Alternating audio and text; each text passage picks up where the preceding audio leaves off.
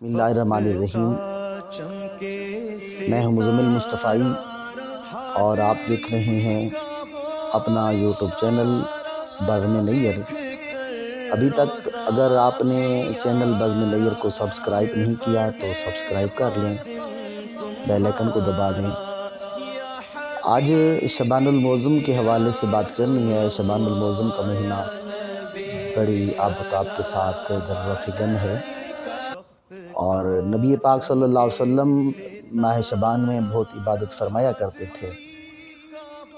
तो इसके महीने में जो इबादत हैं, उसकी तरफ़ चलते हैं उलमा लिखते हैं जो कोई इस माह शबानमज़म में तीन हज़ार मरतबा, तीन हज़ार मरतबा दरूद शरीफ पढ़कर आकाए दो जहाँ सरकार दो आलम को पहुँचाएगा। तो आका अलैहि वसल्लम ने फरमाया बरोज़ हशर, मुझे उसकी शफात करना मुझ पर वाजिब होगा।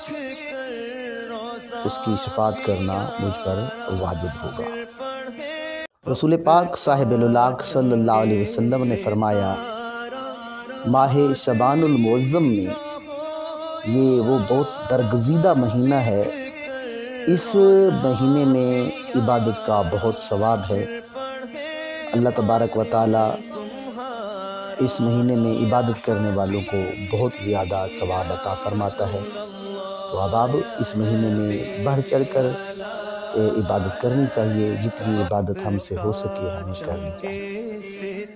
बानुलमज़म का पहला जुम्मा जब हो ने लिखा है कि बाद नमाज़ मगरब शबानमज़म का पहला जुम्मा और बाद नमाज़ मगरब दो रकात नमाज़ नफल अदा की जाए। सूरत फातिहा के बाद एक बार ऐतल कुर्सी पढ़ी जाए, दस बार सूरत अखलास पढ़ी जाए। एक बार ऐतल कुर्सी और दस बार सूरत अखलास।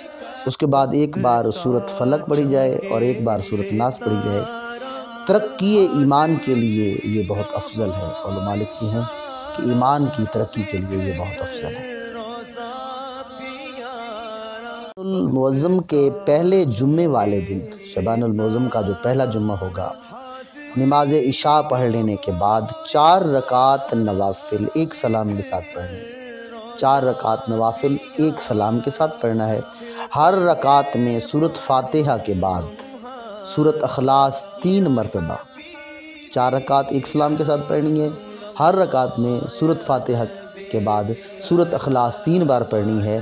तो अल्लाह तबारक व ताली एक उम्र के बराबर सवाब अता करता है। एक उम्र के बराबर सवाब अता करता है। करते हैं, आपको हमारी वीडियो पसंद आई होगी। अगर वीडियो पसंद आई है तो अपने चैनल बज़म नैयर के साथ जुड़े रहिए।